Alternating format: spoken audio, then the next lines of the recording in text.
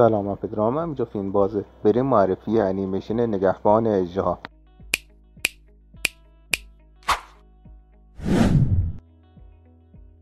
قبل از اینکه شروع کنیم یادتون نره کانال رو subscribe کنید و زنگوله کنارش هم روشن کنید تا جدیدترین ویدیوهای ما با خبر باشید. انیمیشن نگهبان اژدها محصول سال 2024 چین و اسپانیا یک انیمیشن فانتزی ماجراجویی خانوادگی به کارگردانی سالوادور سیمو و لیل جیان پینک هستش. خب بریم سراغ خلاصه داستان انیمیشن.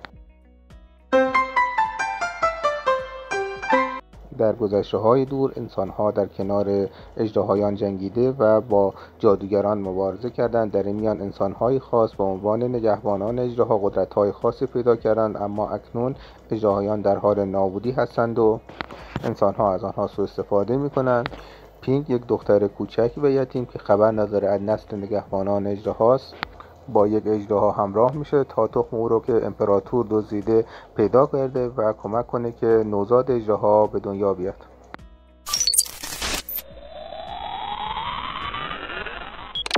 خب انیمیشن نگهبانان اجدها یک انیمیشن فانتزی خانوادگی که توسط سالوادور سیمو ساخته شده. این انیمیشن انیمیشنی که بر اساس اسطوره ها و افسانه های قدیمی چینی ساخته شده اما داستان چندان مهیج و درجه یکی نداره ولی انیمیشن زیاد بدی هم نیست و برای رده سنی مورد نظر خودش انیمیشنی که می‌تونه سرگرم کننده باشه و ارزش تماشا کردن برای کودکان رو داره. این انیمیشن خب ممنون که تو این ویدیو هم با ما همراه بودید. اگر دوست داشتید ما like کنید subscribe کنید و به دوستانتون هم معرفی کنید. ممنون. تا بعد.